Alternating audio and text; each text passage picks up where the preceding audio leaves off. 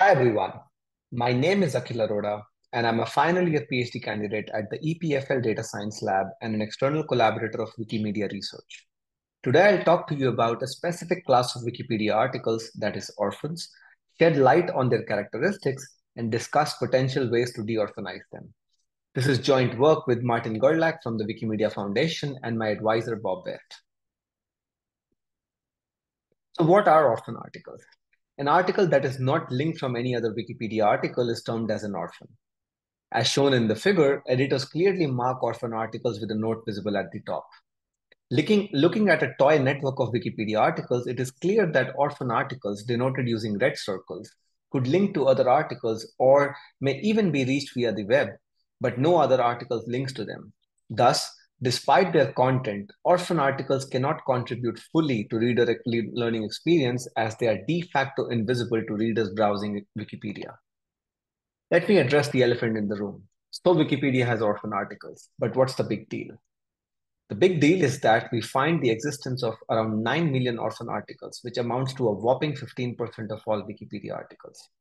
As shown in the plot, the orphan rate in English Wikipedia is only 5%, which is relatively small if you look at the relative numbers, but this still amounts to 200,000 articles in absolute terms, which is a lot. Also, while usually smaller Wikipedias have higher orphan rates, which is upwards of 30%, but there are many Wikipedias among the 20 largest Wikipedia editions, uh, such as uh, Egyptian Arabic, Vietnamese, Arabic, and even Farsi that have a very high orphan rate, which is upwards of 20% at times, but as high as 80% in the case of Egyptian Arabic. Next, deorphanization is quite challenging for editors, which is evidenced by the exorbitantly low rate of deorphanization, which is as low as around 0.2%. While editors are able to deorphanize many thousand articles, new articles are all also added, and thus the overall fraction of orphans stays approximately constant. The grim figure here is that at this rate, it would take more than 20 years to deorphanize entire Wikipedia. But I'm digressing.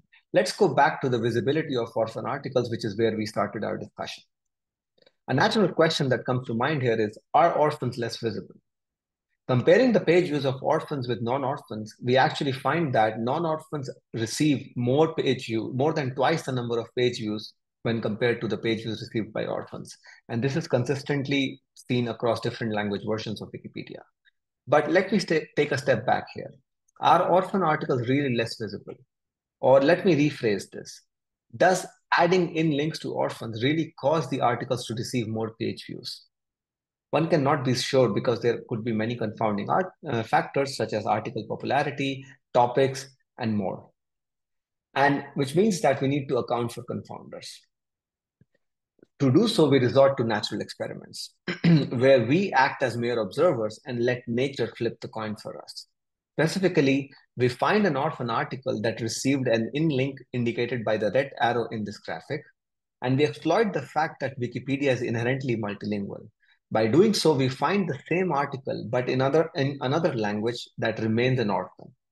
This naturally gives us our treatment and control groups and accounts for all the possible confounders. But let me again take a step back here. Does it though? I can actually think for about one more confounder that still exists, just changing the fact of trendiness to regional trendiness, which accounts for language specific factors. Specifically, what I mean by that here is think about a, a, a original trend, which actually impacts both the chance of an article to be an orphan, but also the, the chance that the article will receive higher page views. And this is still a confounder because it still impacts both the treatment and the outcome. We fix this by a clever strategy of inverting the treatment. What, where what we do is we find a non-orphan article that actually lost a link. As before, we find the same article, but in another language that remains a non-orphan. And I'll argue that here, a loss in trendiness won't motivate a human editor to modify a page and take the link away. And thus, this setup fixes the issue of original trendiness, which is also indicated in the causal diagram here. Applying this setup on Wikipedia, we find around 12,000 treatment control pairs. And using a differences and differences analysis, we find that adding in links to orphans actually causes an increase in their page views by 6%, whereas removing in links from orphans causes their page views to decrease by 13%, as shown in the plot on the right. Moving further, we also stratified the page views by the referrer, or actually broke down the traffic that is received by external versus internal uh, hyperlinks. And we also verified that the treatment effects is driven primarily by the internal links or the link that was added or take or that was taken away. Having established the fact that being an orphan actually causes an article to be significantly less visible than non-orphans, the obvious question that comes to mind here is that how can we de-orphanize these articles? Let me just again jog a memory that let's recall the fact that Wikipedia is inherently multilingual, and thus we can bring the power of transfer learning, which is a popular uh, technique in natural language processing and computer vision to networks. Specifically, what we do here is we look at an article that is an orphan in, in English Wikipedia, as shown in this example, and we look at another Wikipedia, uh, for instance, here the French Wikipedia, where the same article is not an orphan, as shown by a green article, colored box that which is an article that points to it. And in this case, what we do is basically here we can simply transfer the link uh, from French Wikipedia to English Wikipedia, and this naturally gives us our recommender. In fact, what we find that this recommender actually provides recommendation for more than 60% of orphan articles. And owing to its success, we were actually able to successfully deploy this as a prototype tool uh, by uh, which actually assist editors in de-orphanizing articles. You are welcome to try this out by scanning this QR code. Wrapping up, Today, I talked about orphan articles, which are truly the dark, dark matter of Wikipedia because they are de facto invisible to readers browsing Wikipedia and they make up a large fraction of Wikipedia. we also found that editors need support to de-orphanize articles, for which we devise methods and tools. And these tools also help enhance the navigability of Wikipedia in general.